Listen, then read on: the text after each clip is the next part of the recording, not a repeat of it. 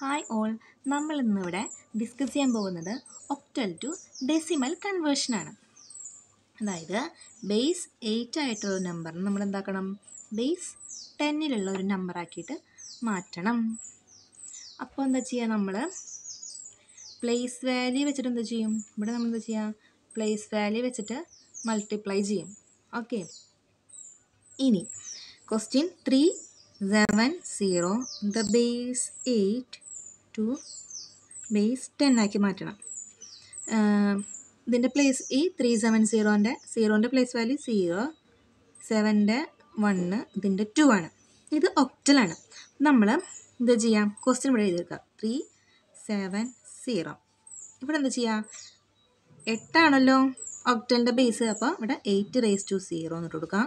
അപ്പുറത്ത് eight raise to one eight raise to two ഇതിനെ multiply ചെയ്യുക എങ്ങനെ ചെയ്യാം നമ്മൾ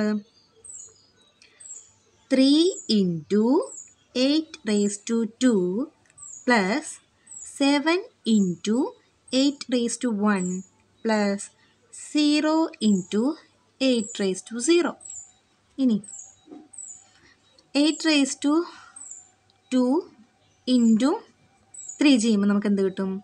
വൺ നയന്റി ടു കിട്ടും.